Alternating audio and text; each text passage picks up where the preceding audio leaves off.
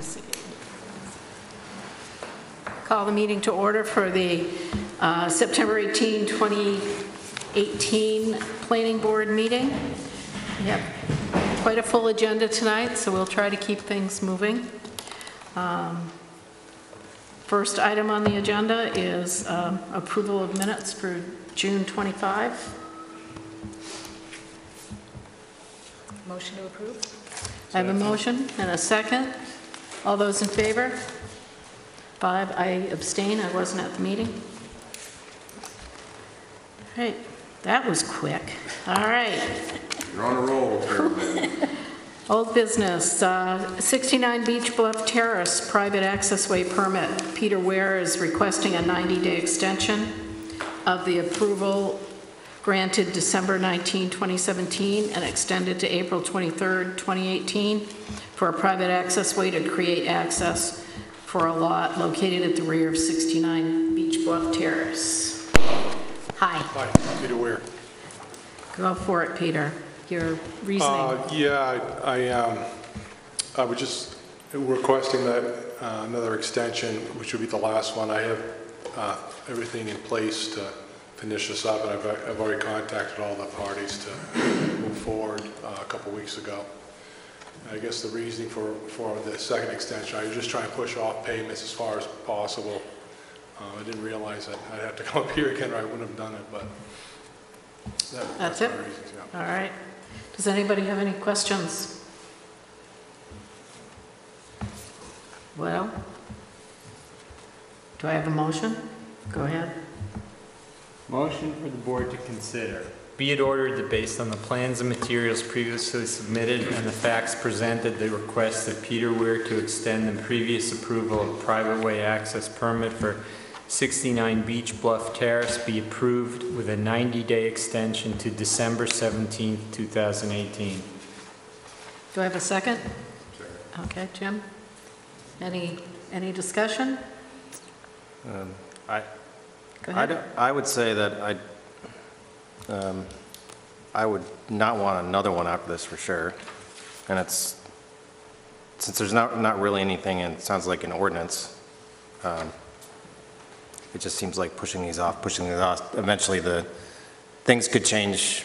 I didn't even sit in on, on this because I wasn't on the board at that point, so I have no idea um, what the issues were, but I, d- I don't think we want to set a precedent for uh, doing more than two extensions, certainly.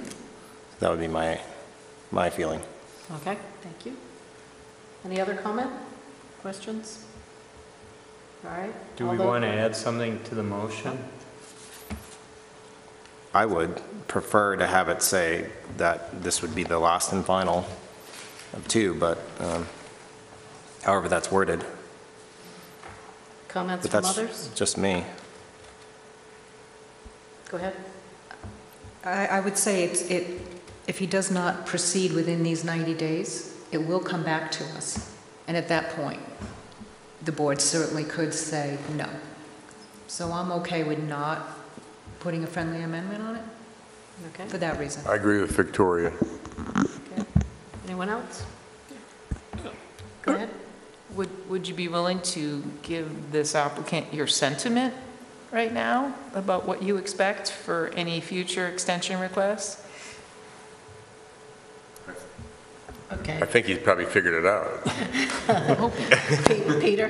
Yeah, I I haven't heard any compelling circumstances why the extension is given this time, nor why in the future we would want to. Does the applicant have any, anything to add on that point as to why the, why the extensions?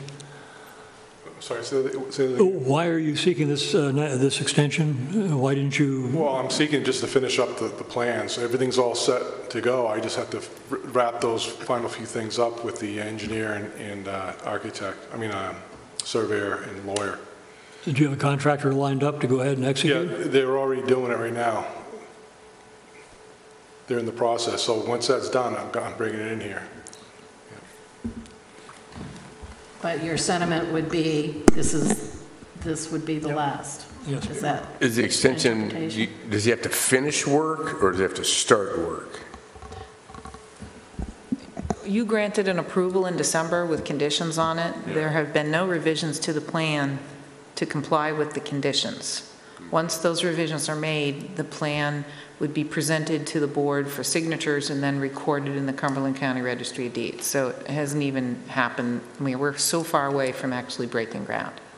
All right, I, I got the impression that he was breaking ground already, so. It's a matter of getting the plans ready for filing. So, any other comments? All those in favor? Opposed? It's unanimous. Good, thank you. Item number three, Sarka Sewer Service Area Amendment. Say that three times fast, that's hard. The Cape Elizabeth Town Council has referred to the planning board a requ- a request to add 33 Wells Road to the sewer service area. Section 15-1-4I Sewer Ordinance. Is there anyone here to present, or are you going to give us a history here, Maureen? Is Mrs. Sarka here? Is there anyone here by the name of Sarka? Okay, 'cause Nope. I was told that Mrs. Sarka would be here. She might not realize we'd be this quick. Okay, so what is before the board is a a referral from the town council, and I gave you the section of the sewer ordinance that applies. And basically, if a sewer service area is going to be amended, um, the planning board should be asked its opinion. And that's what you're being asked to recommend, whether or not this makes sense or not. The Sarka lot is on a road that has public sewer. It's got public sewer provided to all the abutting properties, so this would be kind of like filling in a little spot. Um, There is another property, just like the Sarka property, where the sewer was extended to it several years ago. So this is a traditional process. Any questions from anyone? A comment? Go ahead. I would say that I would support this because it's in line with our comprehensive plan to um, extend sewer in areas where the sewer is available. Um, It makes a lot of good sense to get as many people back onto the sewer and away from septic for many different reasons, so I'm going to support this. Go ahead, Jim. I guess I've never been to one where nobody showed up so far. Can we drive on, or we wait to see if they show up and go on to the next item on the agenda? I say we continue on. Okay, then I've got a motion for the board to consider. Okay, I... Uh, If we're ready to go to that? I'm going to do something crazy. Okay. I'm going to ask if there's anyone in the audience would like to comment. We do allow public comment on items, and so I will open this up for public comment, even though we don't have a formal hearing. And if there is no one who wishes to speak, it'll be a real short public comment period. Is there anyone who wishes to comment on this item? Uh, Seeing no one, I'll close the public comments at time. All right. Anyone else? The door is open. Oh, Peter, did- oh, yes, Sue, we're taking up your item. Oh, good. Sorry I'm late. Come on up to the front.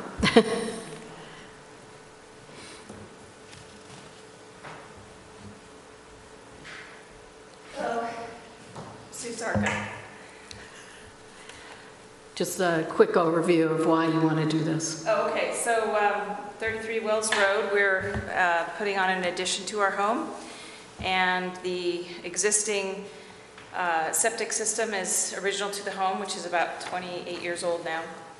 And we've been advised that we either need to um, update and, and/or replace the septic, septic system, or there might be an opportunity for us to um, get on the town system. So that's what we're doing. That's what we'd like to do. Okay? Are there any questions of the applicant? Guys are awfully quiet. Okay, Jim, go for it. Um, motion for the board to consider, be it ordered that, based on the requests made by Sue and Greg Sarka and the facts presented, the planning board recommends that 33 Wells Road be added to the sewer service area. Second. David. Second? Any, fir- any additional comment, discussion? All those in favor? Opposed? It's unanimous. You're good. Thank you.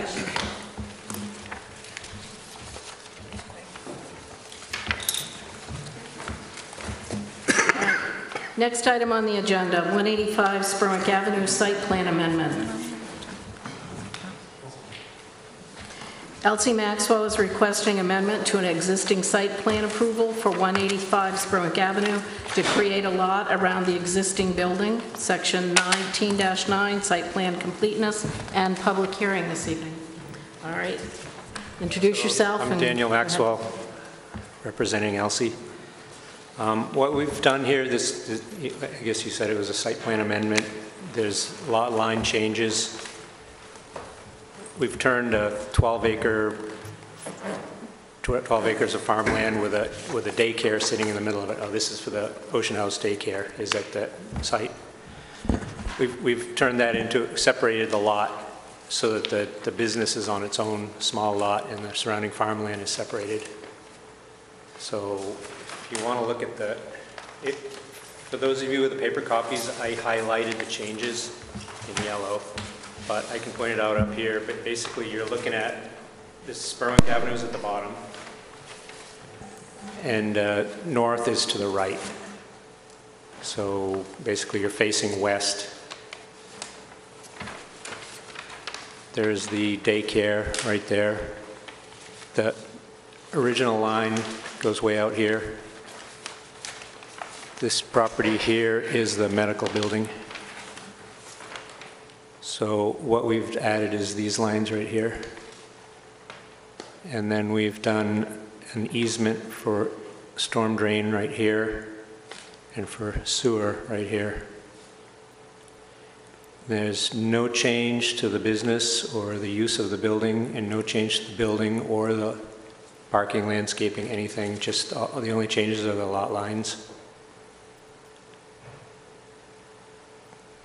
That's about it.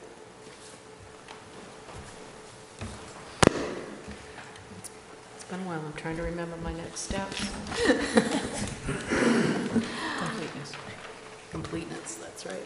We're going to discuss completeness of the application. Uh, Is there anyone in the audience who wishes to speak on completeness of this application? All right, seeing no one, are there any questions from the board about completeness of this application?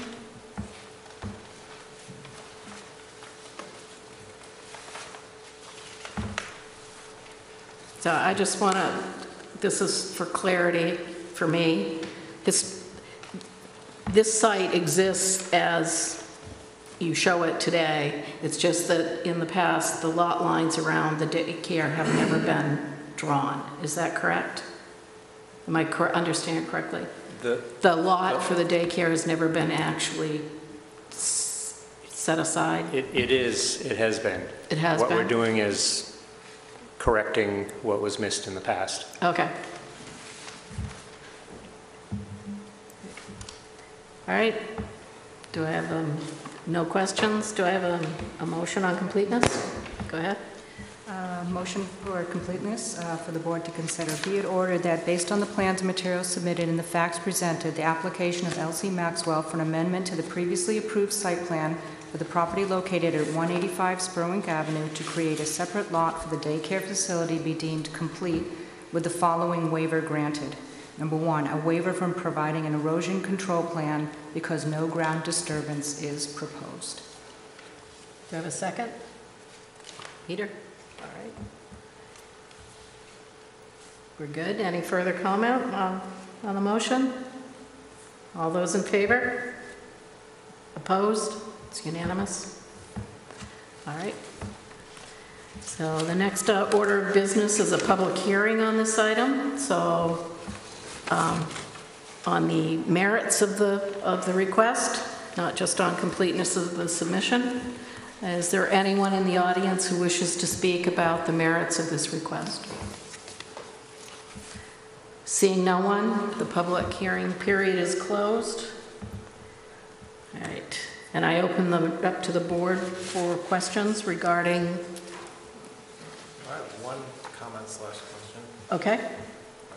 Um, And I, I don't think this is going to affect anything. I just wanted to point out if the easement uh, goes over an existing hoop house, and it basically restricts the right of building and also allows the right to keep the surface of the ground above said systems free from structures. So, uh, you're, I mean, you're kind of granting them the ability to take out part of your hoop house, but that's just, you know, as it's drawn anyway, that, that's just a point of fact. I don't, I don't oppose this at all, I'm just making ahead. aware, the um, way this is written, it reads that part of that hoop house could go. Go ahead, Danny. It's essentially a temporary building, I guess. I don't know what you would call that in the ordinances. But it's basically just pipes in the ground. Yeah, hoop houses are considered temporary structures, are are they not? Am I correct, Maureen? So I, I am the owner Go of with that its time. said hoop house. Yeah. I mean, if that storm drain needed to be repaired, replaced, it would not bother me. I'd be involved in it anyway. Um, All right, thank you. Any other comments or questions on this uh, proposal? Go ahead, Peter.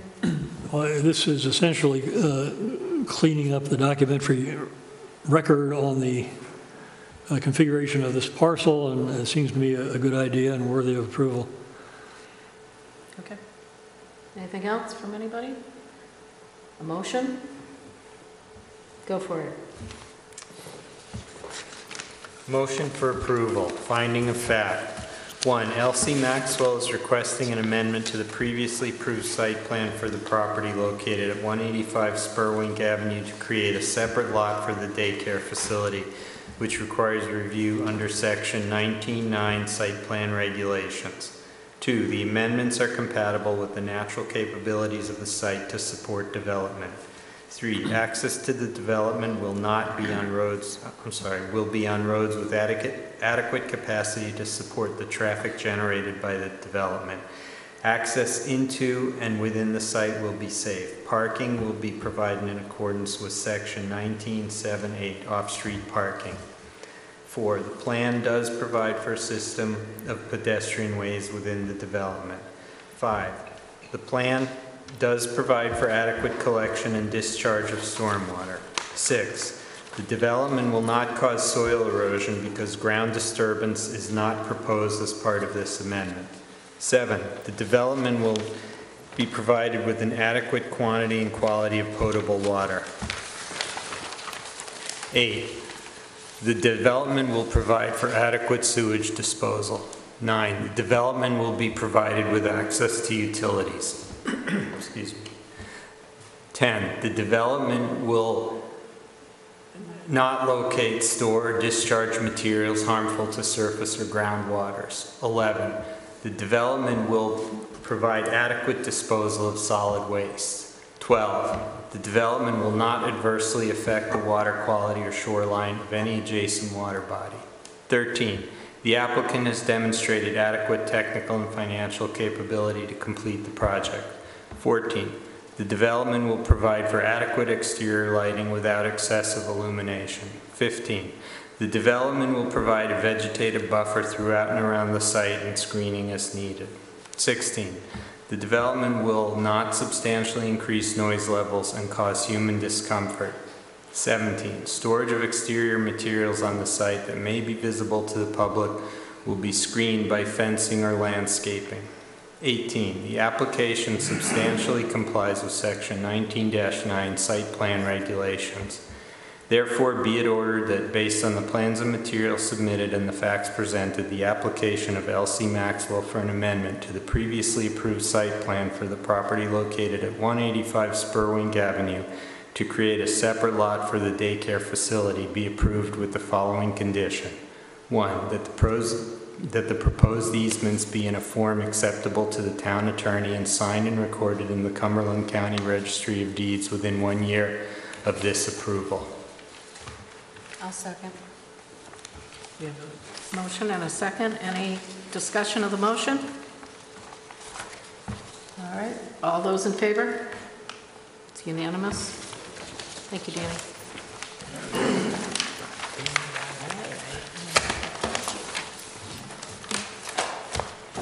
Next item on the agenda, Haynes Private Access Way. Stephen and Jennifer Haynes are requesting a private access way permit to create fron- frontage for an existing lot located at 28 Woodland Road, Section 19-7-9, private access way permit completeness. Carol, Oh, sorry. I'd like to recuse myself from this item. Okay, Thank you. thank you.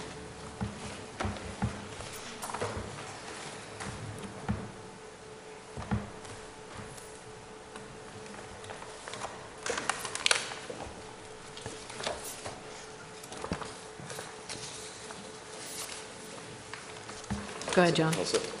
Good evening, Uh, John Mitchell, Mitchell Associates. and I represent uh, Steve and Jennifer uh, Haynes, who is, who are here this evening. Um,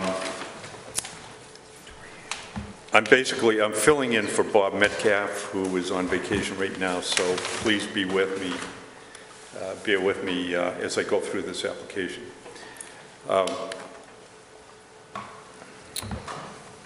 So the- the lot is located on Woodland Road.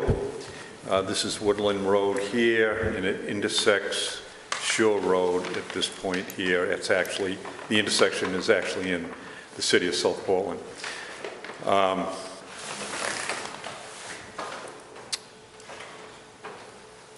Let's see. This is an aerial survey of the, uh, the subject property, the Haynes. Um, This is Woodland Road here, this is Warren Avenue, and as you can see that uh, it's surrounded by single-family lots. There are actually eight single-family lots surrounding the property, uh, two of which are owned by the applicant. Uh, The parcel is a non-conforming lot um, that doesn't have the required road frontage. Um, Therefore, we need to put a private access way in to create that road frontage. Uh, This is the lot here. Um, And it's a little, just under a half acre uh, in size. It's located in the residential C zone. And um, um, the 40-foot wide portion uh, is located right here. It has 40 feet of frontage on Woodland Road. Um, And um, the uh, 30 feet, I just want to mention, it's 40 feet wide, but it, uh, for a private access way, uh, the requirement is 30 feet wide, so we exceed that. Uh, The vegetation on the lot, uh, the, this section is uh, minimally uh, vegetated. Uh, The building portion of the lot um, is, is entirely vegetated with an understory of herbaceous vegetation. The topography, as you can see, it slopes from Woodland Road down to the rear property line in, in the 40-foot wide section. Uh, There is a topographic knoll in the northern portion of the property. Um, It's about a four-foot high knoll. Um, The drainage in this section slopes right down the middle of the 40-foot portion of the road, and it goes off the property and uh, enters a catch basin at a low point located here. Uh, The knoll uh, slopes in, in a southerly direction. Most of it slopes or drains to this catch basin. A small portion drains to this low point and then enter, exits uh, in this direction. Um, There's an eight-inch uh, public sewer line, there's an eight-inch water, public water line, there's natural gas in Woodland, and there's overhead electric telephone and cable. This is a, uh, just like, I got three photographs of showing the, the character of the 40-foot wide section of where the uh, private access way would be. This is standing on Woodland Road, looking um, down. Uh, This is looking, this is standing about midway in that 40-foot section. Uh, again, looking in a southerly direction. And then this is uh, in the rear of the property, uh, looking back up towards woodland. So it's, it's mostly uh, deciduous trees on either side of this 40-foot wide uh, former right-of-way.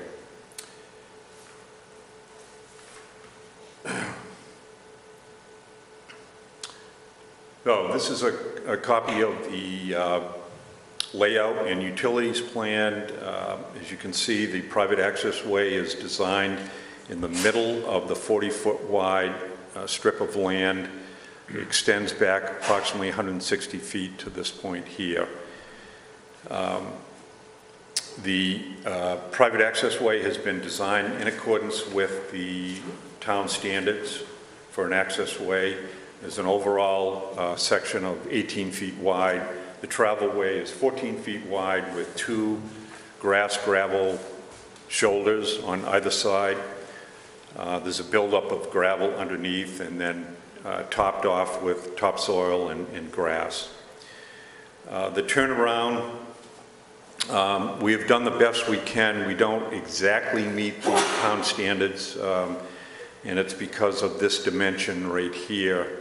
Um, It's about 10 foot too small in order for us to meet the 40-foot wide, uh, or 40-foot length of uh, roadway uh, in this point here. But we have met with Chief Gleason a couple times, reviewed it with him, and um,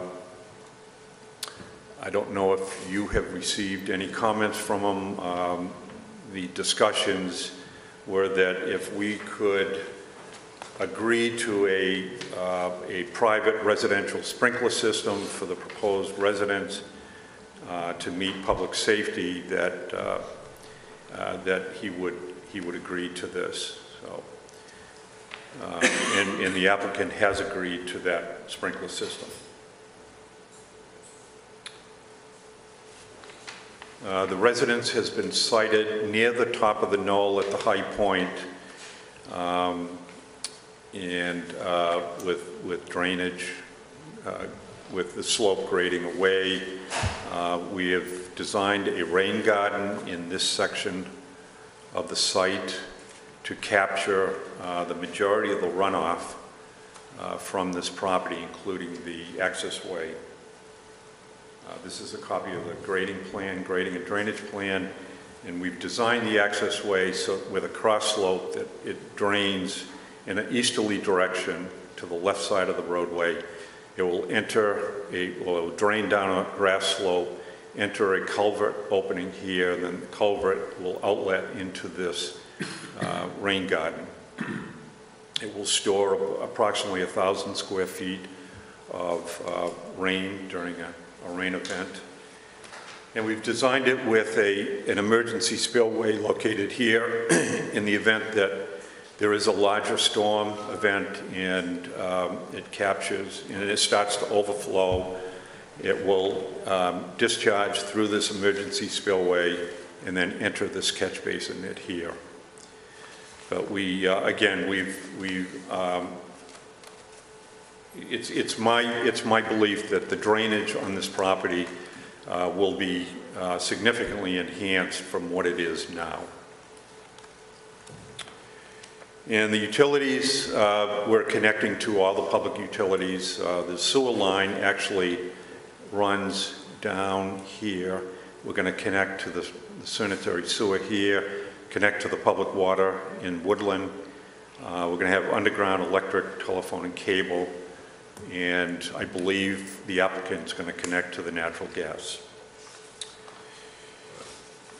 In terms of the buffer, uh, it is the applicant's intention to uh, preserve as much vegetation as possible.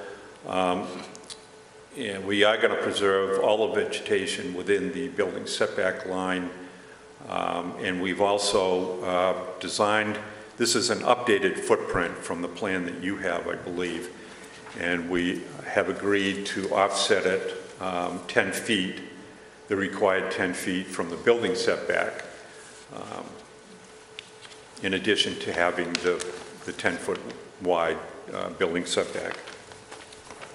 Uh, There's, there's one waiver that uh, we're at, with it- we're requesting, and that is the letter from the Portland Water District. Uh, Because we're having a sprinkler system, they require specific- specific information, um, design information on the sprinkler system, which um, is in the design phase right now. Um, So they won't issue that letter until we submit uh, that information. So we are asking for a, sort of a temporary waiver at this point. Um, And then uh, with regard to the review comments from the town engineer, uh, just review uh, quickly our responses. Item, this is off of Steve Harding's Sebago Technics uh, letter. Items one through three, uh, no response required. Number four, uh, there- there is, a- uh, he mentioned a standard note be placed on the drawing um, regarding the, uh, that the town won't be re- responsible for the maintenance of the roadway. Uh, That note is on the plan, it was just a a miss on his part. Uh, The applicant agrees to provide a public easement uh, to the town for the uh, existing sewer line that is here. Uh, The plans have been revised to show a Y connection to the sewer line. Number seven, no response required. Number eight, um, Steve asked for a dimension on the front portion of the access way where the pavement is, and we've placed that. It's a 20-foot, 20-foot from the edge of pavement of woodland back, and we've placed that dimension on it. Um, And then finally, I just want to respond to a couple of letters that, that have been sent to the planning board uh, from neighbors. Um, On a couple of letters, they represented that the lot is the low area of the, um, of this, of this area, I guess, uh, the low point of this area. And I just want to clarify that it's not the entire lot that is the low point. and it's obvious by this no here. Uh, The low area of this lot is right along the southerly boundary line where the catch basins are. So I just want to make that clear.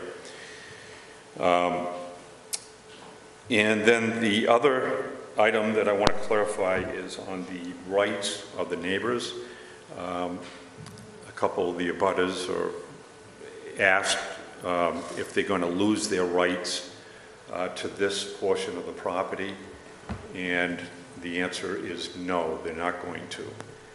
Um, They will maintain their private rights um, to, to walk, to connect to utilities. Um, This was, this goes back to the late 1800s for the subdivision plan. Uh, There, there are private rights for any of the abutting lot owners in this, in this subdivision. So I just want to clarify that. And that's, that's it. All right, thank you. Where am I?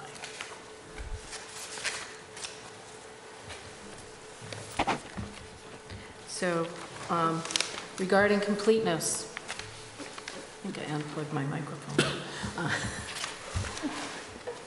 okay. I'm okay.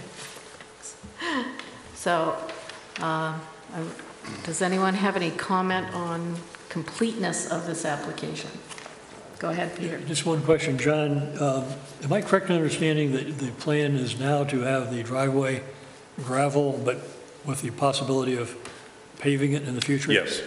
Um, The the the gravel, the gravel access way uh, right now is proposed to be gravel, but the applicant wants to reserve the right to pave it at some point in the future. So for any runoff considerations, we should consider as if it were paved, probably, right? Yes, yes. Good question. Go ahead. Um, On your, on the uh, road and on the bottom part is a ditch. Does that water, yeah, did that water just go directly to the catch? It does. And It is does. there much coming into that from the adjacent properties below? Yeah, um, these, these are the existing contours here, and as you can see, there is some uh, drainage flow that flows in this direction. It will be captured by the ditch and enter this catch basin here. But again, um, currently, the way it is today, all of this runoff goes to this catch basin. We're going to take, you know, probably uh, two-thirds of it and capture it for the rain garden. All right, Now, we're discussing completeness. Do we have all the information we need to make a decision? Yeah. I'll get, I'm doing it backwards, I? No, no, no. So, anyone else on the board have any questions about completeness? All right. Is there anyone in the public who has comment on the completeness of of this application? That means, do we have enough information to move forward? And and that doesn't mean it has to be all perfect right now. There's time between now and the final submission for people to fill in some blanks and answer some questions. But uh, do we have enough to move forward is the, is the question. Is there anyone who would like to speak? If you'd like to speak, please come to the podium, uh, state your name and address. Uh, Keep, please keep your comments to three minutes, and uh, that's it. Thank you. Good evening. Name is Brad Norris. I live at 26 Woodland Road, um, so I'm an an abutting neighbor. And it was my understanding that they were seeking a waiver on um, the stormwater runoff uh, plan, uh, and that hasn't been brought up tonight at all. And I have very, very serious concerns with that because I'll- I've got a picture here that I'd like to pass around um, that shows, you know, what the, what the conditions are now. You know, I understand that the Haynes have an opportunity to develop this property, and, and I, you know, I, I- I will admit, I don't like it, but that's life. We- move on with it. I just want to make sure that it's done right. We've invested several thousand dollars into our backyard, and I don't want to see it turned into a, suddenly turned into a a swamp back there, that's all. Um, The other concern that I have too is of the gravel yard. Um, This home is going to be literally in the backyards of about nine people, even though there are just only six direct abutting neighbors. And a gravel yard in the summer, a gravel road, if you've ever been beside one, they're atrocious. I mean, they kick up dust all summer long, and who wants to live in the middle of that? Suddenly, we've got nine homes that are in the middle, and very frankly, if they reserve the right to pave it, I don't know why they don't pave it right away. Um, And then I know also, I was reading some of the documents from the board, and, and there were some concerns about the, um, a lack of, of um, landscaping plan that went along with it as well. Um, So with this lack of a stormwater uh, uh, plan and uh, lack of a plan for, for the, uh, for the landscaping, um, I, I don't consider it a complete application personally. All right, Thank thank you. you. Is there any?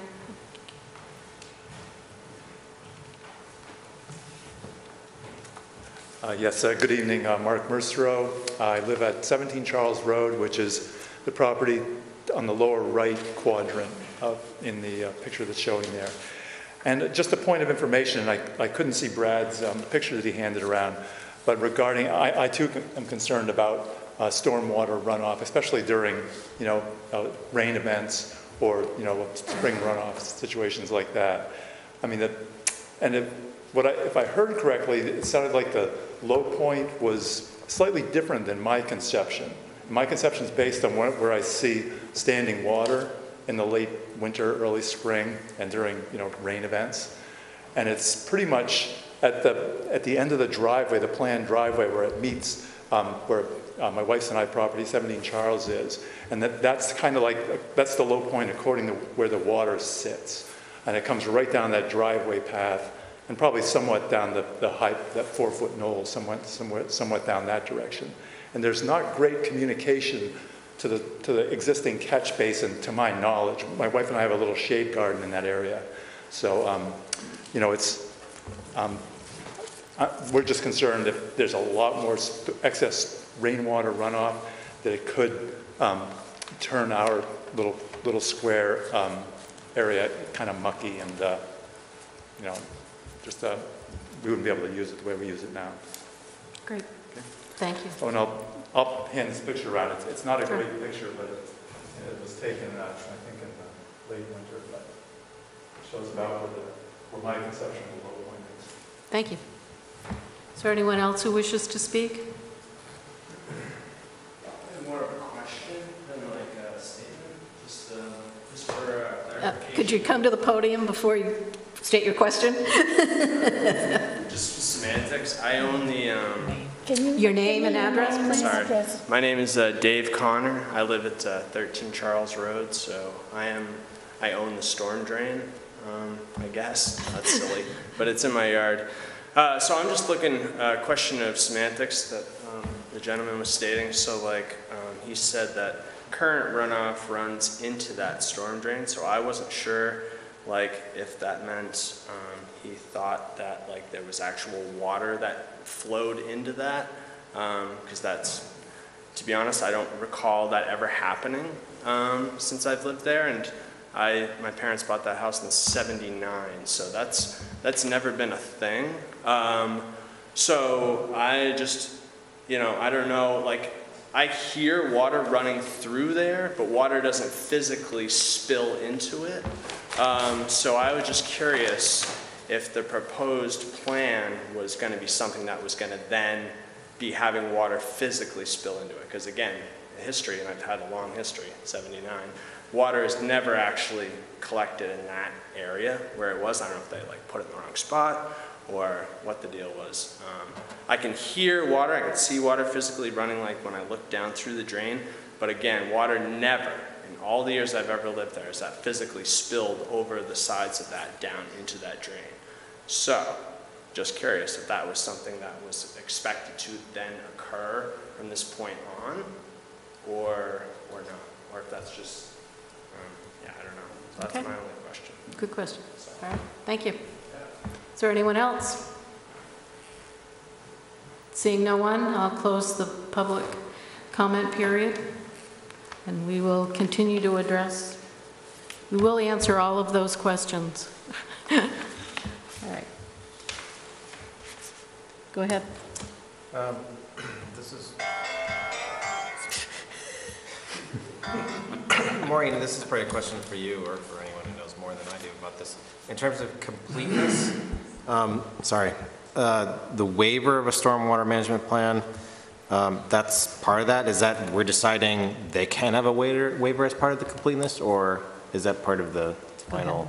Yeah, well, I think the applicant needs to step up to the podium and make sure that what I'm stating is accurate, but I believe that the applicant is not asking for a waiver of the stormwater management plan. And I would suggest to the board that the, the plan that you see behind you that has drainage arrows, that has topography, that talks about um, verbally how the water moves around the site and where it exits the site could be considered a stormwater management plan, that what really is being um, not submitted is stormwater calculations. And stormwater calculations technically are not required for a private access way permit. Um, And in your site plan regulations, you don't require stormwater calculations for an impervious surface increase of 10,000 square feet or less.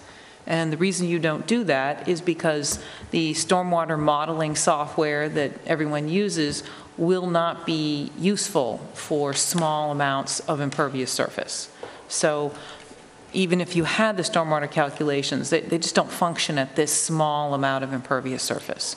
So if you were at an acre, 40,000 square feet of impervious surface, I would strongly urge you to have stormwater calculations done. But uh, for this project, um, I think that's what's really being discussed, is those calculations, not a whole stormwater management plan being waived.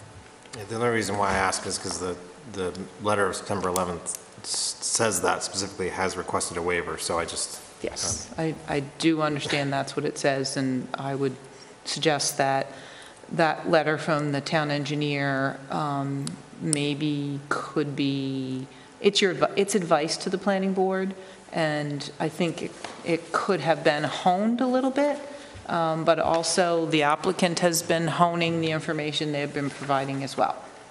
So I guess the question would be to the applicant, are you not requesting a waiver, would be my No, question. yeah.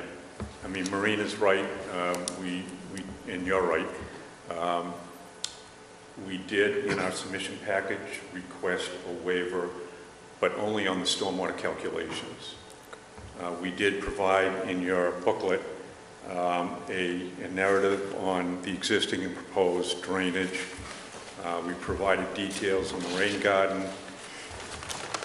And uh, and since we're enhancing the drainage and we're, as I mentioned, we're, we're decreasing the rate of flow um, specifically off of this area here, which currently all drains to this low point uh, off of our property into the catch basin. Um, And we're taking the majority of the runoff and um, directing it to the rain garden, which will, if you're all familiar with the rain garden, it, it's a depression in the landscape that will store water, allow it to infiltrate down through a, um, a base of material, um, a mixture of sand, topsoil, and compost. It will allow it to infiltrate down through, and, um, and it's also planted um, with wetland plants uh, in the, the top layer. So, for those reasons, uh, we did request a waiver on the stormwater calculations. Could I? Go ahead. And I'm feeling a little bad about what I suggest about the town engineer. I believe when the town engineer said the waiver, he under, he- when he said stormwater management plan, he was thinking stormwater calculations, because that's what engineers look at. Go ahead, John. In line of that, how much impervious surface is uh, request, or is uh, um, on this plan? I mean, I know that usually, usually it's the $10,000, or 10,000. I think it's, at- I think it's at 2,500. 2,500, okay. All right, so it's not even a quarter of what's required for the 10,000 10,000 square feet, no, dollars. Yep. All right, thanks. Oh, the- one Go other ahead. question.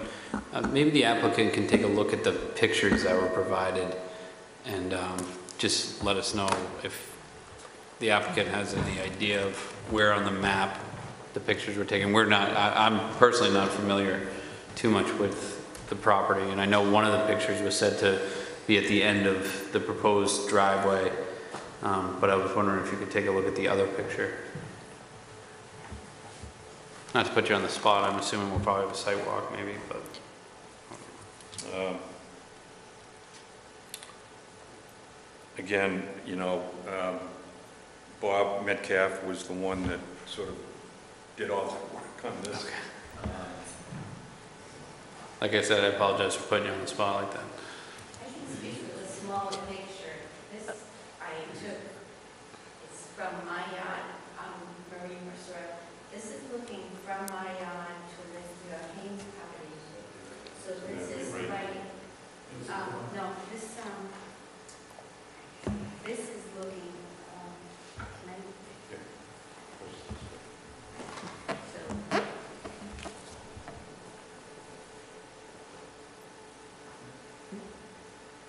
Oh, okay. So this is our house right here? Okay. Um, So this is looking right along this area. And this, from here, well, stretch down here, frequently looks like, that's where it would look like a lake. Yeah. Okay. So That is from 2016. this is six feet of grade, change from here down to here, is six feet. And then um, it's relatively flat. Okay. It's relatively flat from here to here, and that's why you're getting the puddling um, during a rain event, because it's not, there's not a lot of pitch there. Um, Eventually, it does seep to the catch basin, but um, you're not getting, you're not getting any puddling here because of the gradient. It's, it's only when it uh, runs off the, the applicant's property. And then the, the culvert that you proposed for the north side, Yeah, that's designed to take a, like you said, two-thirds of the rain on the, the driveway that would go into that other, it will go into the rain garden. okay. And, um. The other question I had is, uh, you heard the comment about the drain, um, excuse me? Okay, Uh, well, no, the, the drain that the, um, the last person spoke about. Um, Oh, yeah. I wasn't sure where, do you know where that is? I'm not aware, I mean, would, if, if he's, if he's referring to the actual storm drain pipe, no, no, nothing will enter the storm drain pipe, that's subsurface. If he's referring to a, a catch basin, um, then, uh, it's, it's probably, I don't, I don't know, because I haven't, I haven't seen it. Um, If he says there's no water entering it, then there must be something to do with the grades around it. Could he come up and, could he come up and show us if he was in that point? No.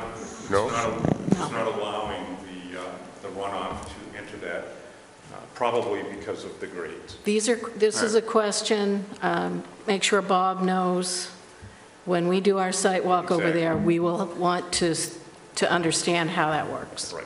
Okay? Yeah. I don't think uh, two or three people pointing here and there. We want to do it on-site ourselves and with the engineer who's working on this project. So, I, I appreciate the question and I understand it, and I just think it's more of an on-site kind of understanding. So we're still trying to get through completeness here. Are there any other questions? Um, Another, well, here I'm going to go. The buffering, as you've picked up, is another key issue that we will want to see on plans in the future, I believe. Am I correct? Buffering. Would you say, I didn't, couldn't hear, what you say? Buffering is something that we will want to Yes. see more of in the future or have more detail on in the future. As I future. remember, there was no fence planned, so. So we, Even- Again- Even though we're, we're, we're keeping the structure 10 feet away from the building. we'll, we'll want to, and maybe this is another site walk discussion, Yeah, that's what I- but just something for a note to give Bob to keep in mind. Okay. Anything else? Do I have a motion on completeness? I got one. Go ahead.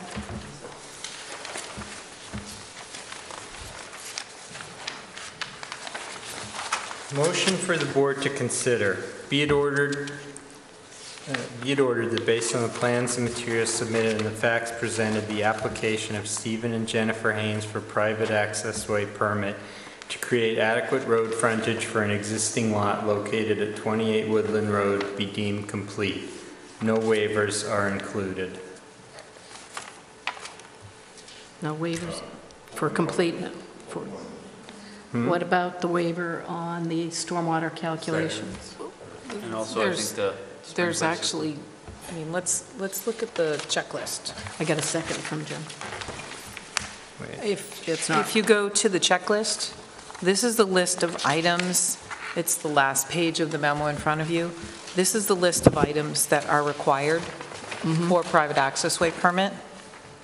So it's not required for a private access? Well, you have to permit. provide information on surface water drainage. Um, I don't, I, in my opinion, the private access way permit does not explicitly require stormwater calculations. Calculations.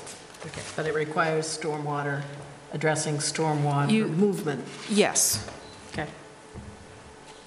Is that okay with everybody, or do you want to? I think the applicant requested one waiver for completeness was the, um. the Portland- Stormwater calculations? No, the Portland Water District, uh, Oh. the sprinkler system.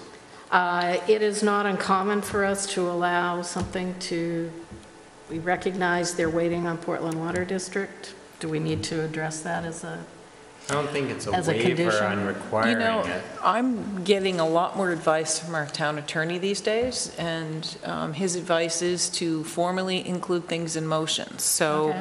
if, if there, if you want to treat it as a waiver, then I would add a statement to your motion.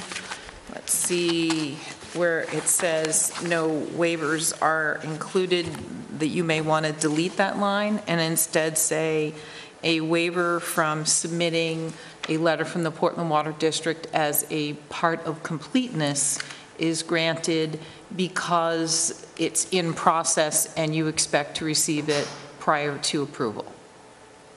So you you can, ex- if you explicitly grant it, you have to, you should say why. So we're not, it's not a waiver, it's just a waiver for completeness. It's not a waiver of a standard for Right. eventual approval or not. Okay. Okay. So that would be my friendly amendment. As stated, as stated As by stated by the Maureen. town planner. It's going to be happening more often.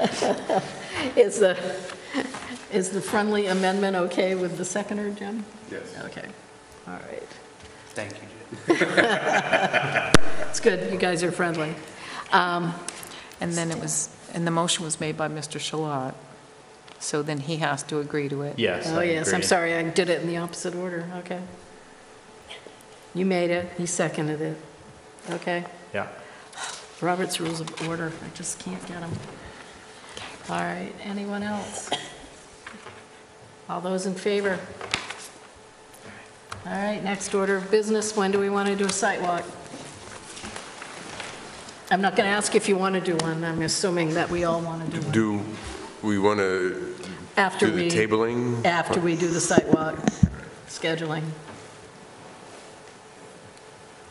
Do you know when Bob's, when's Bob due back from? He's due back on Friday, but um, we would prefer to have it next week. Next week? If we need to make any changes, Okay, we can. all right. Sometime next week, which is the 25th, 24th through the 27th, I believe, something like that. Friday morning,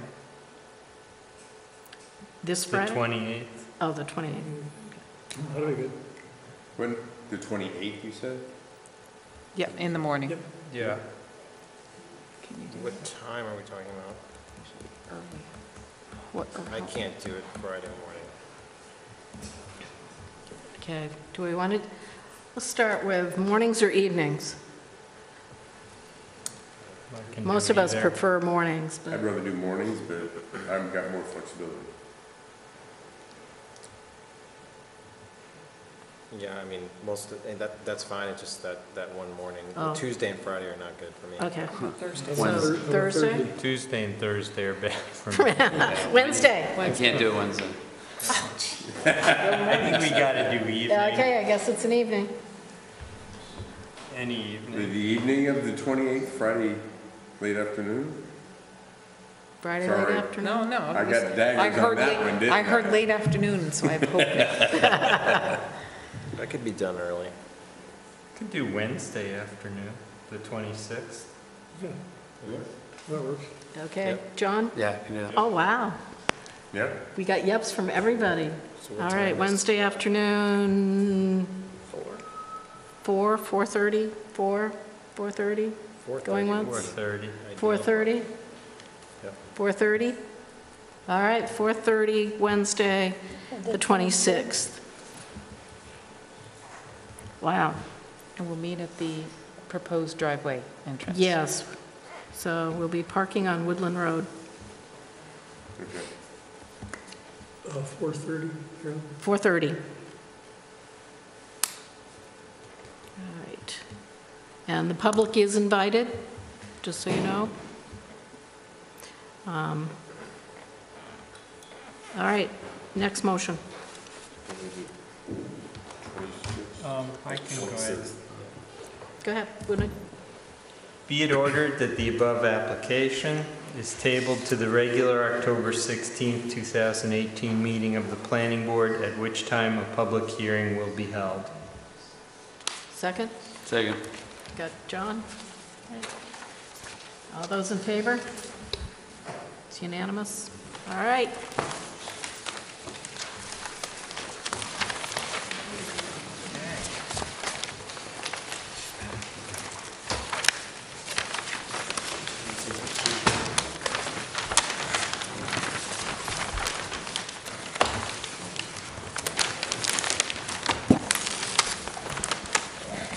Next item on the agenda, Old Mill Road private road amendments. Malcolm Poole, on behalf of the Poole family, is requesting amendments to the previously approved Old Mill Road located off Old Ocean House Road, Section 19-7-9, private road completeness. All right, John, you're up again. Okay. So this application um, is for an amended plan of a private road. Um, And I represent Malcolm Poole, who is here. Ma- Malcolm is the manager of the Poole Family Properties. Um, It's, uh, I've provided a little context map here. Uh, This is the parcel outlined. Um, It's a 22-acre total acreage um, off of Old Ocean House Road. This is uh, Mill Pond, or Mill, Old Mill Road, sorry. Old Mill Road, uh, that comes down and winds off and, um, and eventually goes down near the waterfront. Uh, So there's a total of seven lots. um, And the previously approved plan was in 2005. Um, This plan includes the following amendments, and these are all outlined in your booklet.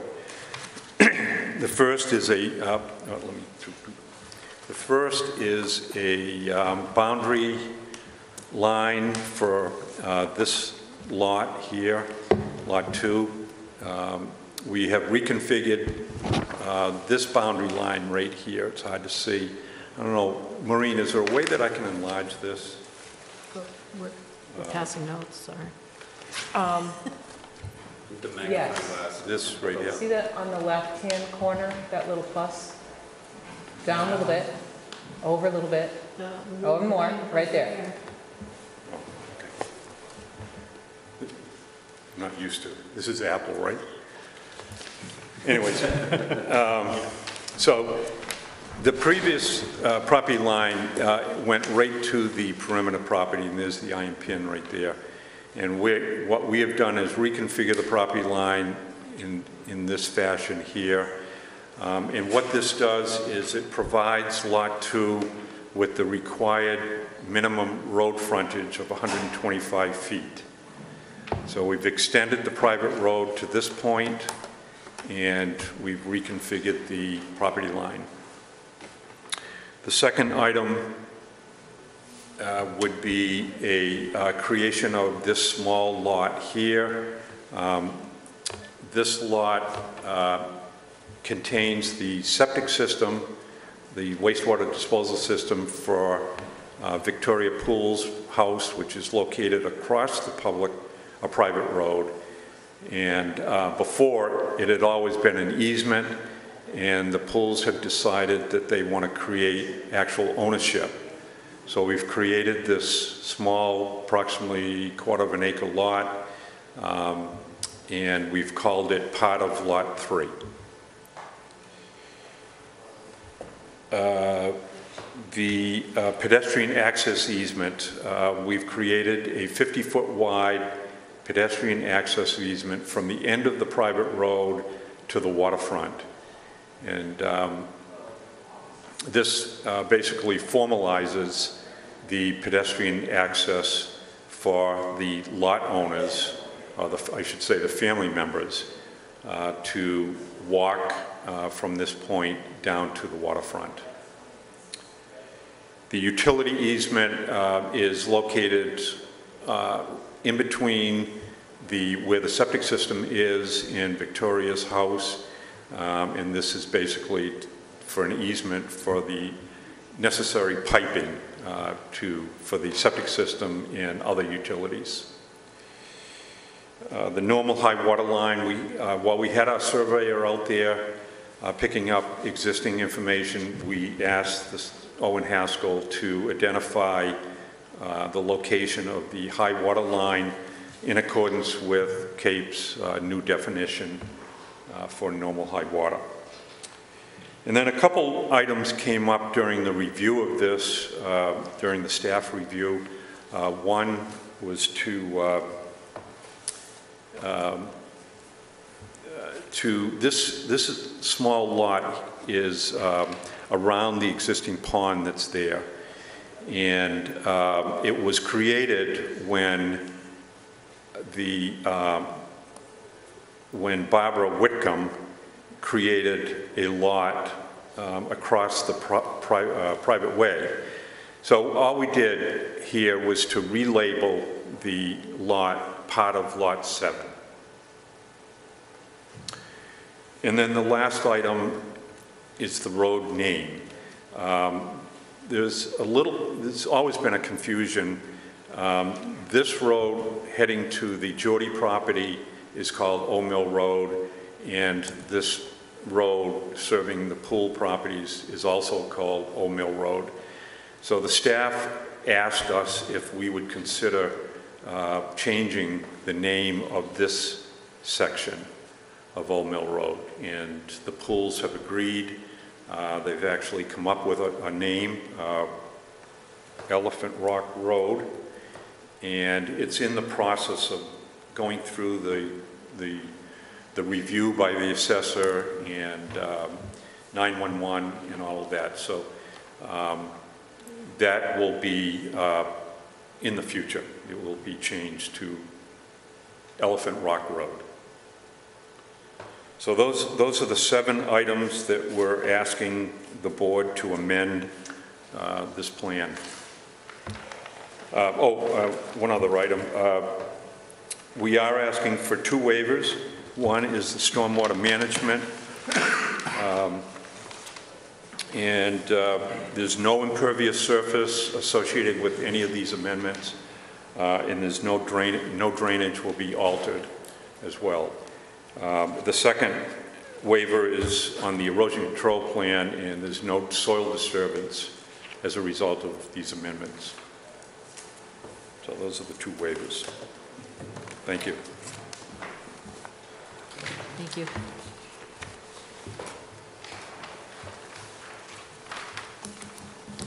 You- All right, I'm going to ask if there are any public comments on completeness. But since the only public is the applicant and his, uh, and John, then uh, I guess not. So, public comment period is closed. Um, Findings of completeness. Any questions, any, anything? Anybody get anything on completeness? Go for it. Motion for the board to consider, motion for completeness. Be it ordered that based on the plans and materials submitted and the facts presented, the application of Malcolm Poole, manager of the Poole family property, for amendments to the previously approved Old Mill Road, private road, be deemed complete. Waivers have been granted from submitting an erosion control plan and stormwater information because no disturbance of soil is proposed as a part of this application. Do I have a second? Second. Either one. He's closer to you. Go, go to Joe. Go with Joe. All right, any, dis- Happened too fast. any discussion on completeness? All right, all those in favor? It's unanimous. All right. Next item, I'll go through my list here. Uh, Do we want to do a site walk? No. Okay. And we, this was not noticed as a public hearing. Uh, According to my advice, a public hearing for this change is not required. Do we want to hold one? I'm asking the board's opinion on whether they want to have a public hearing. So consensus being no? All right, we will forego a public hearing, and we will go on to decide whether to approve this project. So, I just, I'm very confused about the road name, and I know it's just me, and, and I, even watching you do that, I'm still confused about what section of road is being renamed. Where, I, I'm sorry. Oh, Maureen's showing me. Because this Okay, Is- is also because, Old Mill oh, okay, where it, where it t- turns off from Old Mill Road. Old Mill Road comes off of Ocean House, then you turn left onto Elephant Rock. Okay, I'm good now. Elephant Rock or? Rock. Elephant- Rock, Yeah, that's a- R-O-C-K. It's, uh, well, Malcolm knows more, but it's a, apparently it's a rock right off the shore. I had it as walk. Yeah,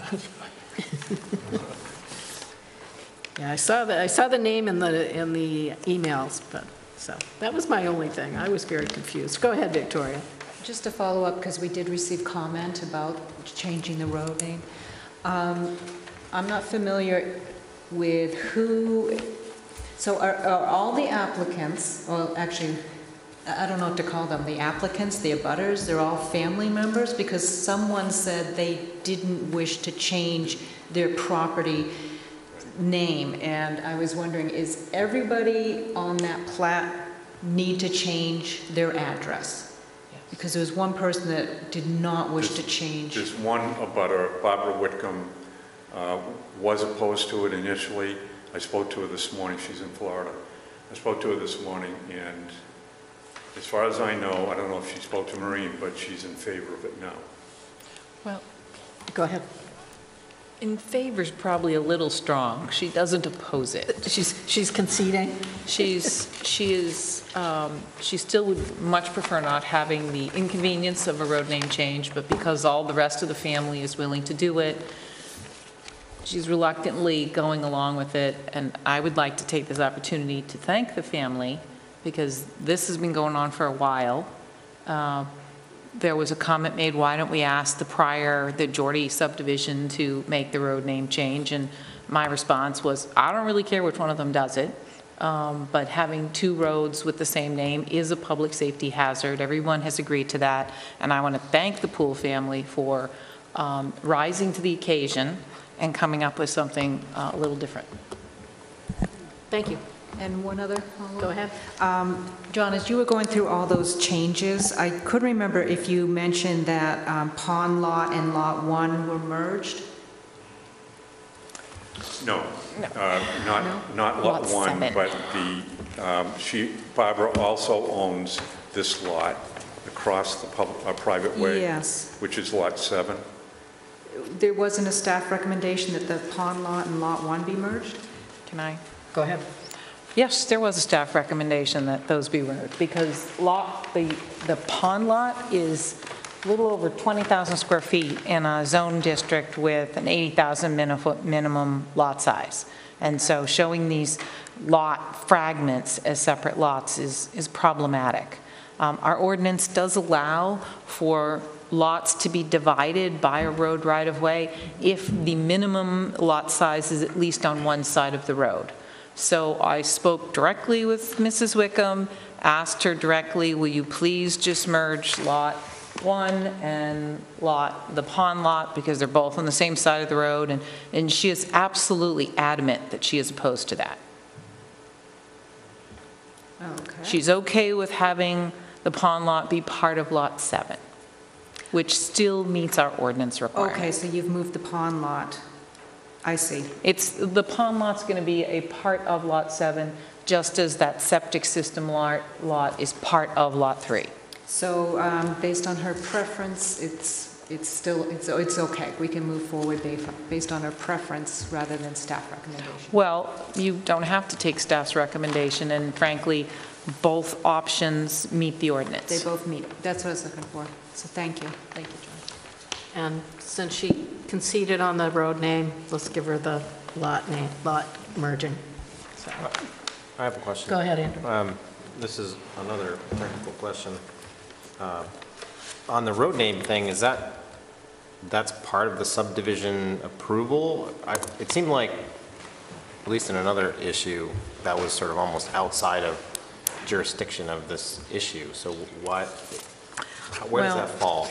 If we go through um, the ordinance standards, um, under H, conformity with local ordinances, which is near the bottom of page three of the memo from staff, um, you are supposed to make a finding that the sub, any subdivision is in compliance with the subdivision ordinance. Um, Honestly, this, you know, when we go back over these old developments, it's a, it's a little creaky how this all plays together.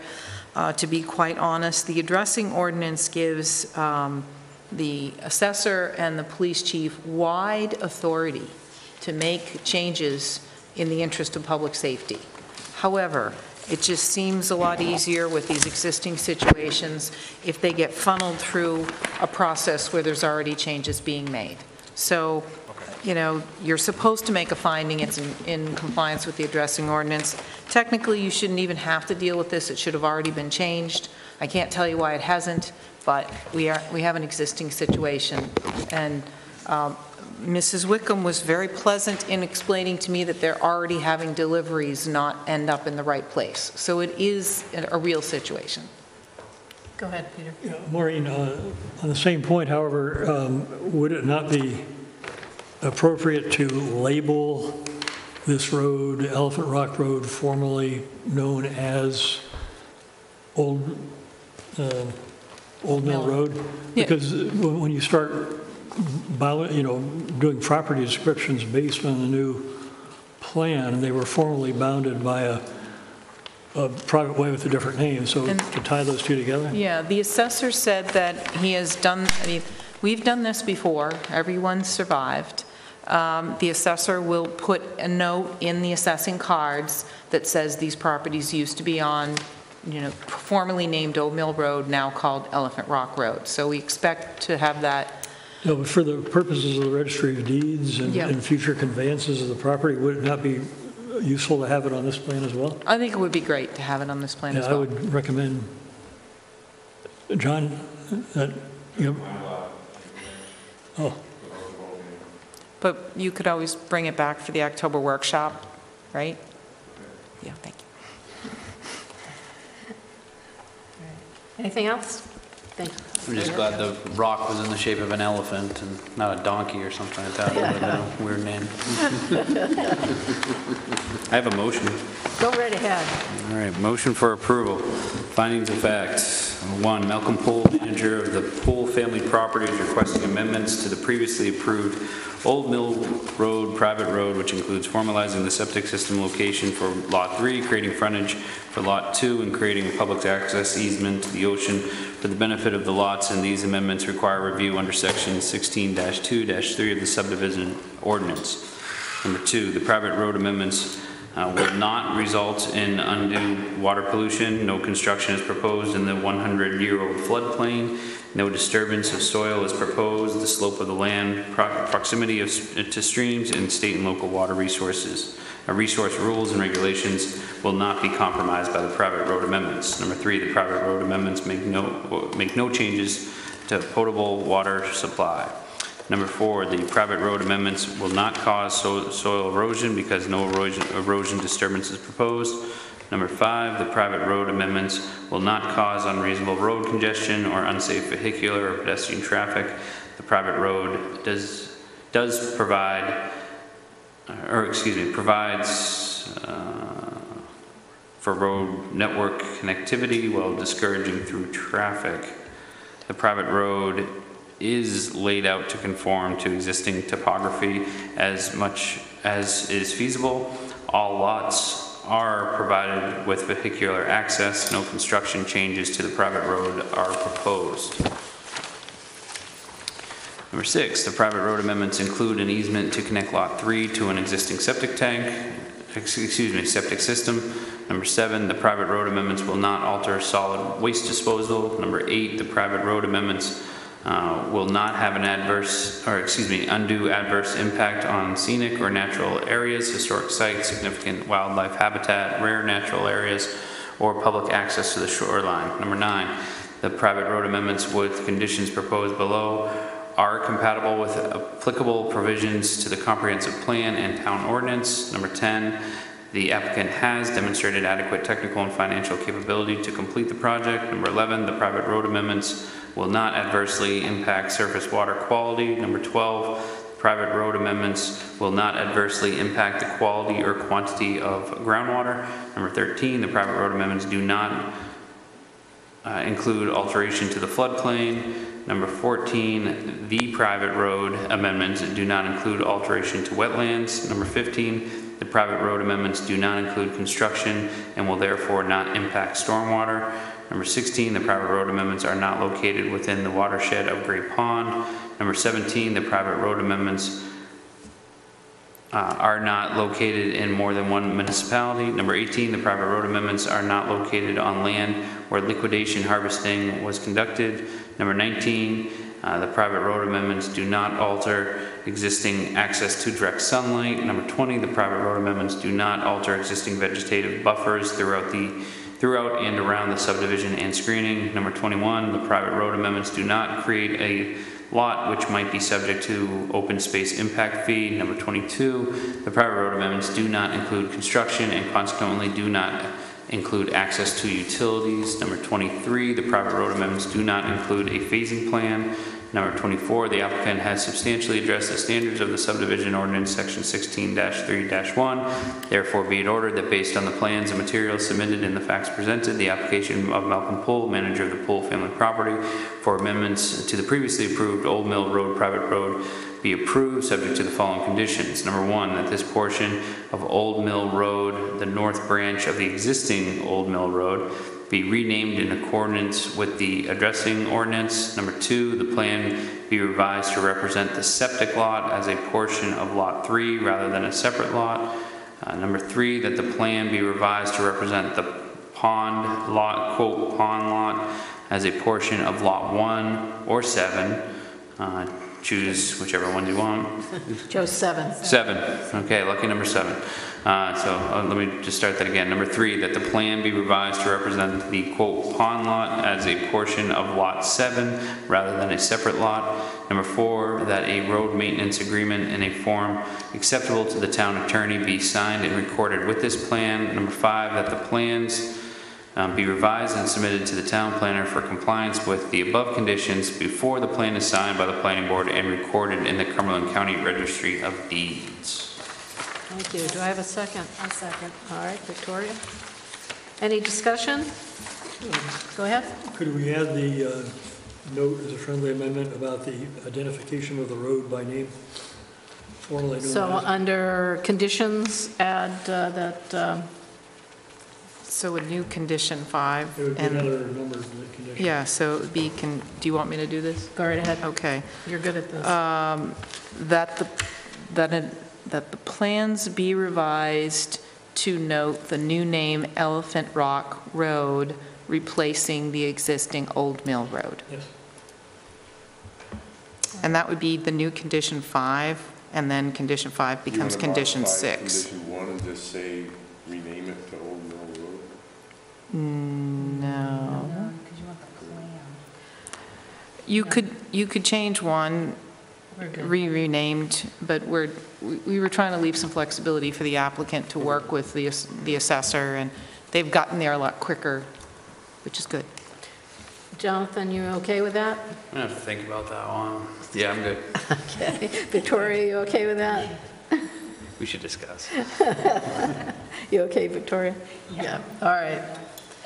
We'll add that. All right. Anything else? All those in favor? Opposed? It's unanimous. All right, great. Thank you.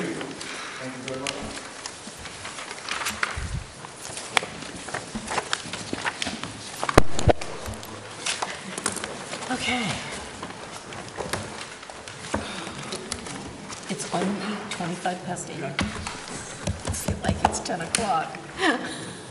Next item on the agenda, Pollock Brook Bridge and Boardwalk Resource Protection Permit. The town of Cape Elizabeth is requesting a resource protection permit to install 32 square feet of boardwalk over an RP2 wetland and replace an existing pedestrian bridge with a four-foot wide by 70-foot long pedestrian bridge in the same location. Section 19-8-3, Resource Protection Permit, completeness and pub public hearing. All right.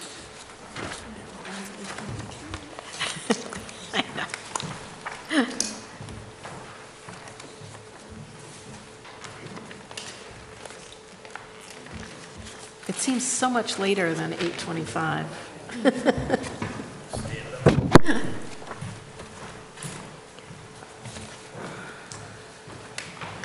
Um, Good evening. Um, My is Jeremy Gabrielson. I'm the Chair of the Conservation Committee, representing the town's application for the permit uh, to replace the bridge uh, across Pollock Brook and also install a short section of boardwalk um, on a property adjacent to Spurwink River.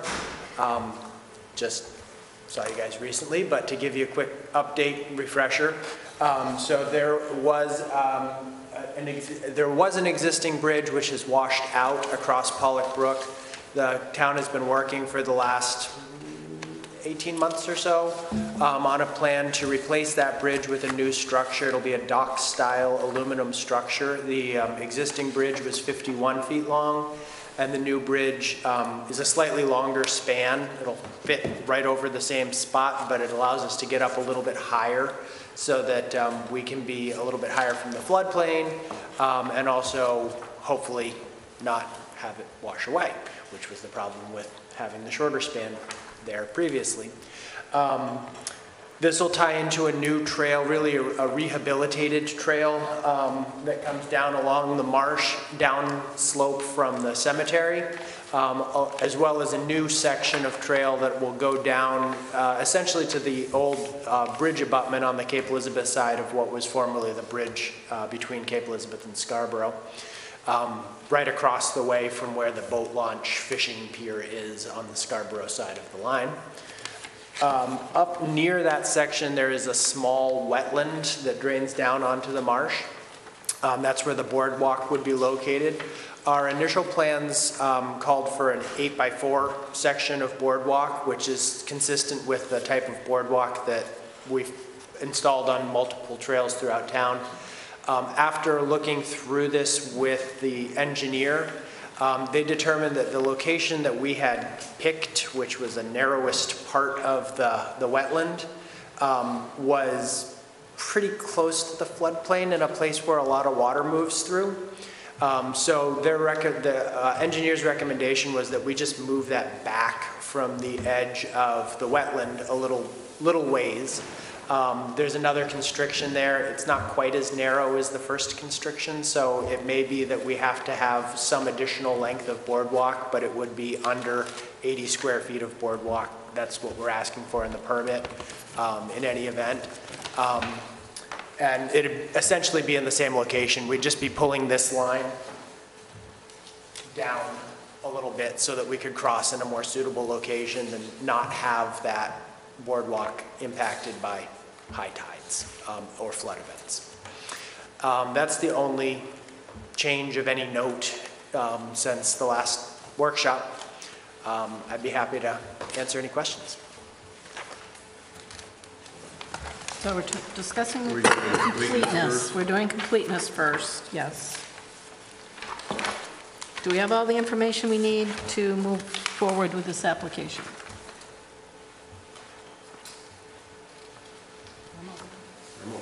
Okay? All right. Do I have a motion?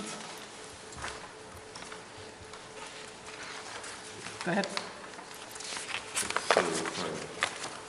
Top of page four. Yeah, motion for completeness, bottom page three.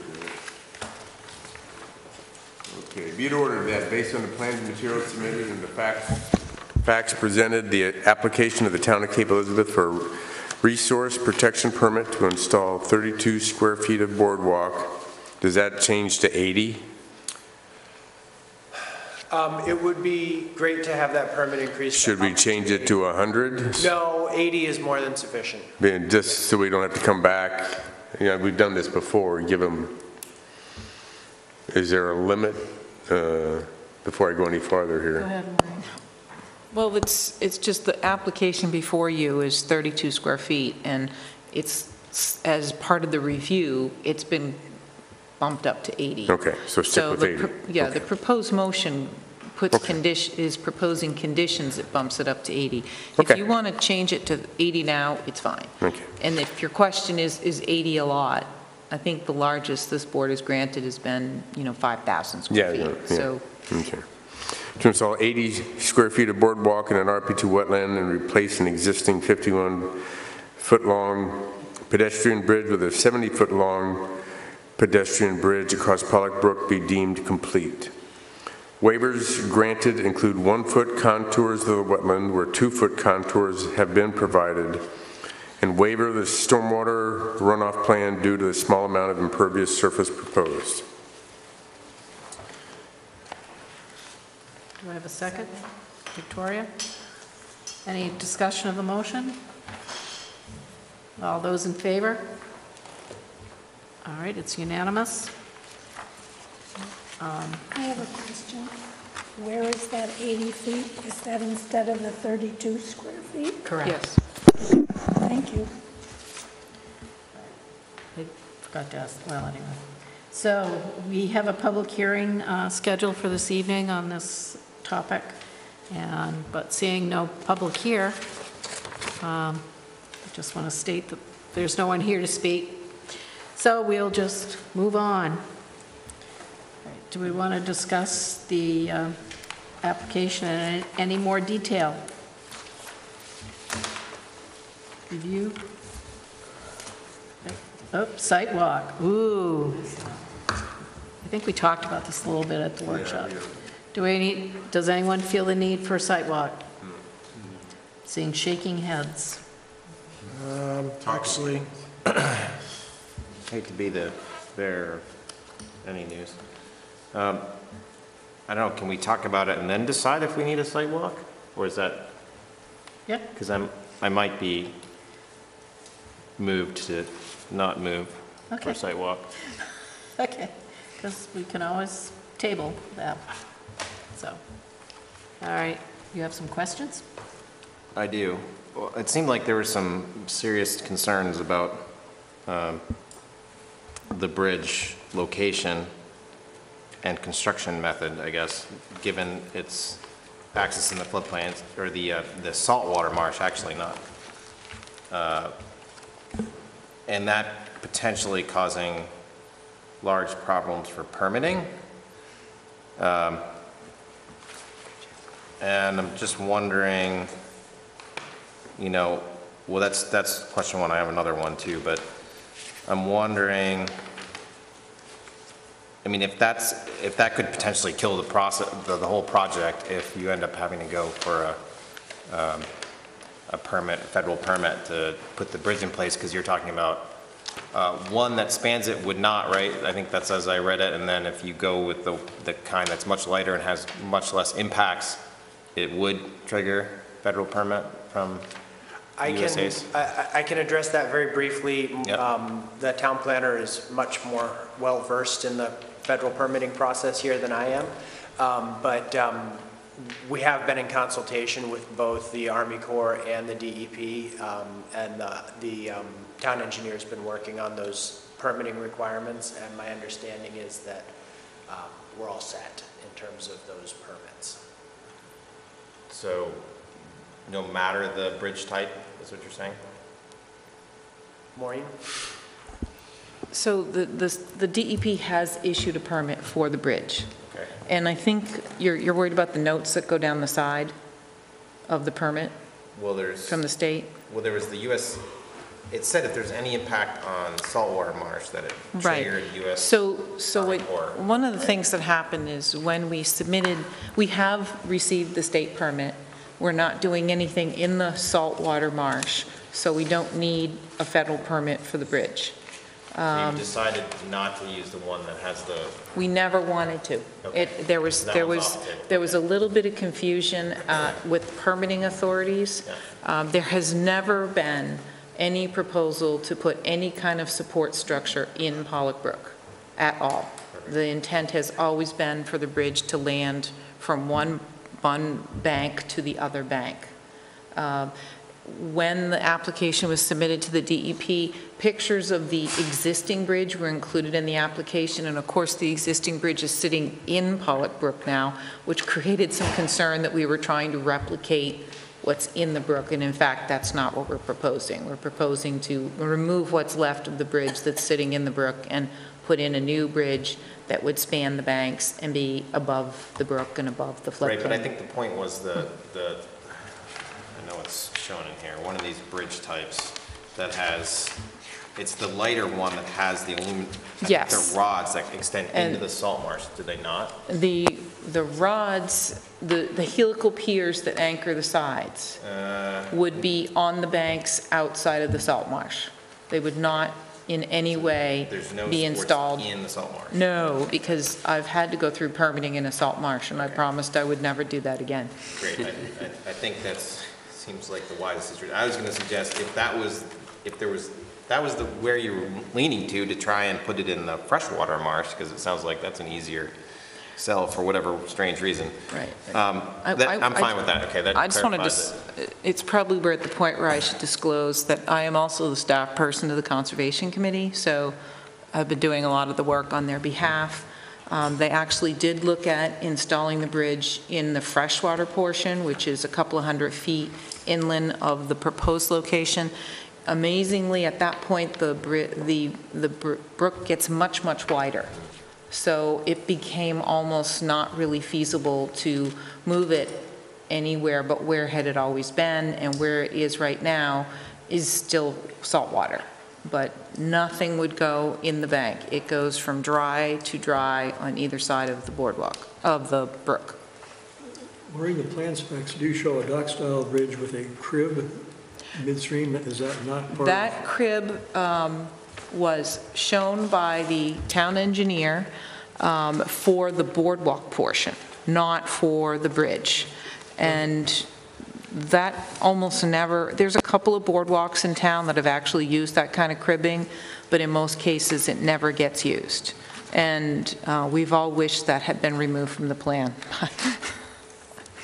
I have one more little contentious piece here that I couldn't rectify. In the, somewhere along the lines here, I saw a reference to um, the fact that you can't build structures or do anything within 25 feet of the edge of a cemetery.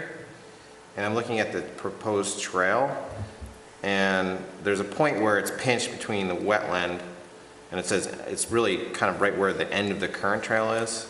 So you've got the cemetery boundary and this, this freshwater wetland there. Is that gonna be an issue there? I mean, uh, where are you gonna put the trail? I mean, is there, there a, The the issue regarding the 25 feet was really an issue with the north side of the bridge. And the north side of the bridge actually has about 60 graves that date back to the 1700s that have nothing but a little stone about this big. So it's not this cemetery? Right. It's a small unmarked cemetery that was located adjacent to the, the north abutment of the, is located. okay, but does the trail not count as basically anything in this case with regards to the main, to the Spurwink Cemetery? I mean, to me, that's considered development in a way, right? So what I, I- what I don't want is to get into trouble because you put this trail there and now you're 25 feet from the cemetery and somebody considers, considers it development that's against, I forget which rule it even showed up as. You know, that's an interesting question, and I, I can tell you that there were some that felt that there was no need to put um, that section of trail in because we would just connect it into the cemetery and use the cemetery roads as the connector. So I don't think we ever considered putting a trail within 25 feet of the cemetery being a problem there because we wanted to actually use the cemetery roads. Well, some of us did. Um, The 25-foot was really what we were looking, every, every reference to the 25-foot has been regarding that northern side of Pollock Brook. That's where we had the, um, the test pits dug, and we have one place where the bridge can land, where the test pit um, came back with no human remains. I, I would point out that the existing cemetery does have trails and roads through it. Yeah, but, I mean, to be fair, those roads are for people who walk to visit loved ones who are. Correct. um, So I, I, that is, raises a question about the 25 feet, but I remember when we talked about this at the workshop, um, I had a little bit of concern of that, but you had mentioned something about Uh, There's quite a downslope from the edge, and there's going to be a buffer between those. Can you you Yeah. talk about that a little bit more? Uh, Sure. So um, for the existing, the, the, the main cemetery here um, adjacent to Spurwink Church, um, there's a, there's a, sort of the, the cemetery slopes down, but then there's a, a bluff where it drops off. And we've actually had the town engineer come out and, and survey the edge of this wetland so to make sure that we have enough room to put a trail in between the marsh and the, the cemetery, and the idea is that we'll be able to put that trail in down slope from the bluff. So if you were up in the cemetery, you might see a head walking along the trail, but it, it's down far enough out of the visual field from, from what you would normally see in the cemetery that it shouldn't present a, a visual disturbance. And Is there, is there an existing, tra- or is there an informal trail there now? There was a trail that came along this edge of the marsh. Um, I think it, I'm not, I think, I'm not sure exactly how far up it came, to be perfectly honest. We did do a site walk with the planning, uh, with the conservation committee, I want to say about two years ago, um, and looked at the feasibility of, of putting this trail in downslope. It, it, it, there's room to do it.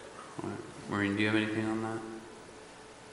It's, it's threading the needle there. Okay. I mean, I- I was, I was one of the advocates of just using the roads in the cemetery, so, I prefer not. Well- Trail. yeah. But the na, the nature lovers, they went with this, and it's really threading the needle, because that, you know, that, the Spurwink Marsh is, is just number one quality, rated high value for wildlife, and has all the local protections and all the state protections, and we have to be a minimum amount of feet away from that, and we don't want to be in this, in the actual respectful worship area of the cemetery. So there's, in that one spot, there is a pinch point where you just take it right down through the middle.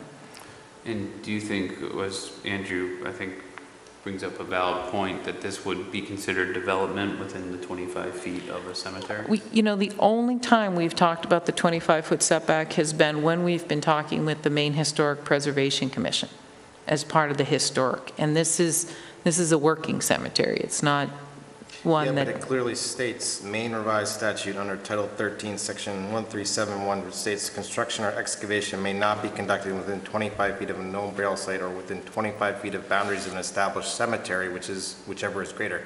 I mean, that's right in the document you just gave me. Mm-hmm. And so I'm, I'm sort of, I mean, I don't personally have a problem with it, but what I don't want to happen is the state to come back and say, you put a trail, you excavated 25 feet within a, a no, within an established cemetery. I mean, that is an established cemetery, is it well, not? and, and yes, it is established cemetery. So the question would be, is this development? And in this case, th- there is no excavation that will occur. It is clearing, raking, um, removal of shrub, there will be no removal of trees. I- And I, the question then becomes, would the state interpret that provision to call this type of rustic trail development? Yeah, I, I just want to ask hard questions because I don't want it to Yep. be an issue down the road. And it's better to think about it now than to get, you know, smacked down later on. Because trust me, we've had permit issues dealing with my work and they, you know, they, you don't, you basically have to follow the rule and, and, I mean, yeah, the, the question is whether this is considered construction or excavation. I think that makes sense if you're just basically clearing.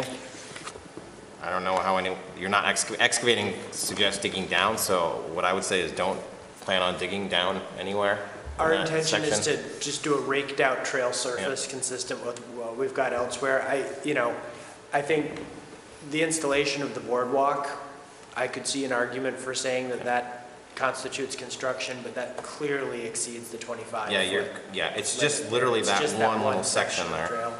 And, you know, the, the intention, our intention, the way that we um, have, have installed these trails in the past is literally with a rake um, and maybe a pair of clippers, so.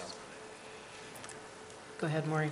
And, and um, technically, the board isn't being asked to approve the trail. You're being asked to approve the, bo- the bridge and the boardwalk Yep, we're doing a resource protection permit.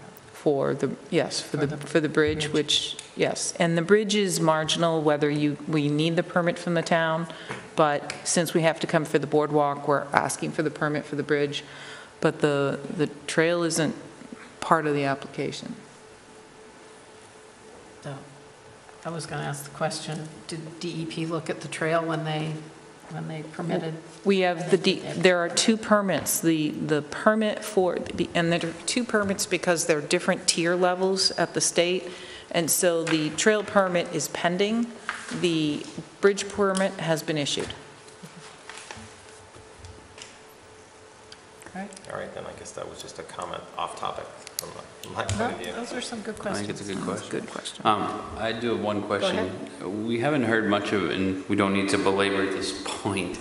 Um, The old bridge that washed out, I, thinking that it's probably a different design than the new bridge that's proposed, so we don't think we're gonna have the same problem with this new bridge? No, uh, uh, for a couple of reasons. One, um, this bridge is not going to be made out of a material that floats, um, so that should help. Um, And two, um, this is going to have helical anchors that'll tie it into the bank on either side. Uh, My understanding is the old bridge literally just got lifted off either by ice or or high water, we're not sure which, and kind of moved a little bit, and then it moved a little bit more and wound up. Uh, But th- this will be securely anchored on The, both sides. the old bridge, we, we speculate that it was created by dropping two tree limbs across the bank and then nailing decking on top of them without any anchoring on either side. I Guess lawyers weren't involved in that, were they?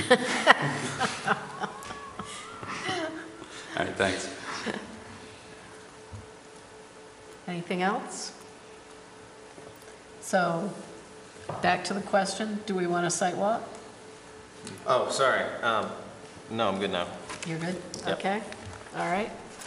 So no, no site walk. Any, are we ready to move to a conclusion, or are there more questions? I have a motion. Go right ahead. All right, motion for approval, findings of facts. Uh, Number one, the town of Cape Elizabeth is requesting a resource protection permit to install 32 square feet of boardwalk in an RP2 wetland and replace an existing 51-foot-long pedestrian bridge with a 70-foot-long pedestrian bridge across Pollock Brook, which requires review. Is that 80? Yeah. Okay. So, I said 32, so it's 80. Oh, yeah, correct. Sorry, let me start that again. Uh, Number one, the town of Cape Elizabeth is requesting a resource protection permit to install an 80 square foot uh, boardwalk and an RP2 wetland to replace an existing 51 foot long pedestrian bridge with a 70 foot long pedestrian bridge across Pollock Brook, which requires a review under section 19-8-3 of the resource protection permit regulations. Number two, the proposed bridge and boardwalk will not materially obstruct the flow of surface or subsurface waters across or from the alteration area. Number three, the proposed bridge or boardwalk and boardwalk will not impound surface waters to, or reduce the absorption capacity or the alteration area so as to cause or increase the flooding of adjacent properties. Number four, the proposed bridge and boardwalk will not increase the flow of surface waters across or the discharge of surface waters from the alteration area so as to threaten injury to the alteration area or to upstream and or downstream lands by flooding, draining, erosion, sedimentation, or otherwise. Number five, the proposed bridge and boardwalk will not result in significant damage to spawning grounds or habitat for aquatic life, birds, or other wildlife. Number six, the proposed bridge and boardwalk will not pose problems related to the support of structures. Number seven, the proposed bridge and boardwalk will not be detrimental to aquifer recharge or the quantity or quality of groundwater. Number eight, the proposed bridge and boardwalk are not located in and therefore will not disturb coastal dunes or contiguous back dune areas. Uh, number nine, the proposed bridge and boardwalk will maintain or improve ecological and aesthetic values. Number 10, the bridge and boardwalk will disturb a minimum amount of ground area and otherwise will maintain an adequate buffer area between the wetland and adjacent land users. Number 11, the bridge and boardwalk will, by remo, by not removing vegetation or disrupting ground surface, will be accomplished in conformance with the erosion prevention provisions of Environmental Quality Handbook Erosion and Sediment Control, published by the Maine Soil and Water Conservation Commission, dated March 1986 or subsequent revisions thereof. Number 12, the bridge and boardwalk will be accomplished without discharging wasteful, uh, excuse me, wastewater from buildings and f- from other construction into wastewater treatment facilities in violation of section 15-1-4 of the sewage ordinances. Uh, Number 13, the bridge and boardwalk, subject to the condition below, is not located in the 100-year floodplain. And 14, the application subs- uh, substantially complies with section 19-8-3 of the Resource Protection Regulations. It is. Good job. I'm just, Second. no one's looking. All right, hold on. I'm not done. Oh. He's not done yet. Therefore, You're just getting a drink. Yeah. Be it ordered that based on the plans and materials submitted and the facts presented, the application of the town of Cape Elizabeth for a resource protection permit to install 80 square feet of boardwalk in an RP2 wetland and replace an existing 51-foot long pedestrian pr- bridge with a 70-foot long pedestrian bridge across Pollock Brook be approved, subject to the following conditions. Number one, that the MDEP permit with, uh, excuse me, permit for the boardwalk be obtained. Number two, that the anchor for the south side of the bridge be revised to elevate the nor, the lowest hor- horizontal member of the bridge to at least one foot above flood elevation, now at nine feet. All right. Three, that the boardwalk be relocated upland of flood elevation nine feet and uh, may be increased in size to no more than 80 square feet of RP2 wetland alteration. Number four, that there be no alteration to the site until plans have been revised and submitted to the town planner to satisfy the above conditions. Now, Joe. Second. I have a question on the conditions. Is the second part of the sentence in number three of the conditions relevant since we upped the, the approval to 80 square feet? Where it says may be increased to a size of no more than 80 square feet? So if we end it right after it, flood elevation of nine feet, we're good? Would get rid of number three and? No. No, just the second I'm just part. saying the second half of the sentence on number three. Since we upped the, uh, the permit to 80 square feet, All right, all right, I understand. that's all I'm saying. Any, I'm good You're with fine with uh, that? taking that part out. how about you, Jim? Okay. All right. Any further discussion? All those in favor? Opposed? No one is opposed. Everyone is in favor. Okay, Such unanimity. all right. Got a grant. Good luck at building that. Okay. So Now's the time for public comment for items not on the agenda. Seeing no public, I'll take the next motion. Motion to adjourn. All right, do I have, uh, and a second? Anyone opposed? All those in favor? All right. We're done.